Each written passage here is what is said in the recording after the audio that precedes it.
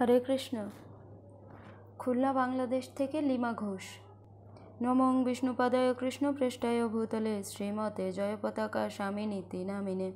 নম আচার্য পদায় নিতায় গৌর কথা ধামোদয় নগর গ্রাম তারিণে।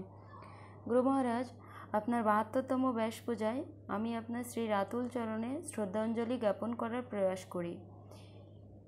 কিন্তু আমি আপনার চরণে যা কিছু নিবেদন করি না কেন, আমার হৃদয়ের গভীর থেকে আপনাকে যা কিছু বলি না কেন, সবই আপনার কৃপাবাড়ির কাছে তুচ্ছ বলে গণ্য হবে।